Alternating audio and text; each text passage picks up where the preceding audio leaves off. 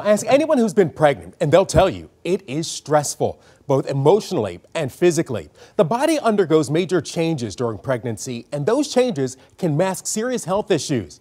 I spoke to a Metro Detroit mom who developed heart failure while carrying her child, and her warning is simple and clear listen to your body because healthy babies need healthy moms.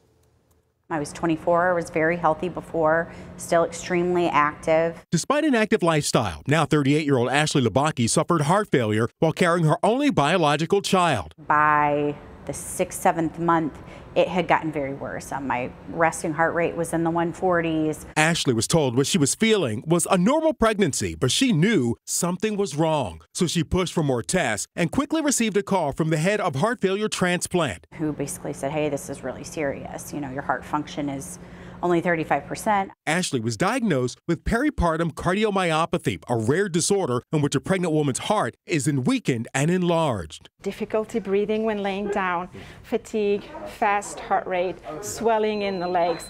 All of those could be normal, but could also be indicators of heart disease. Dr. Reem Rajev is director of the Women's Heart and Cardiobstetrics Program at Henry Ford Health and founder of Heart Healthy Moms. This is my team. This is my crew. The new program focuses on managing postpartum cardiovascular problems, including chronic and gestational hypertension, preeclampsia, and eclampsia, any of which can lead to preterm labor and low birth weight for baby and long-term issues for mom. We tend to think that all those problems just finish when the baby's out, but actually they're not. Patients with blood pressure problems suffer greater readmission and long term problems later in life. Heart Healthy Moms targets these mothers to manage their disease early on. Each patient monitors hypertension at home with a special blood pressure device. It is Bluetooth enabled, it is linked to their phone, their app health, and their Henry Ford MyChart wow. app. Allowing the medical team to act faster if problems arise and eliminating barriers to care like a lack of childcare or transportation. Heart Healthy Moms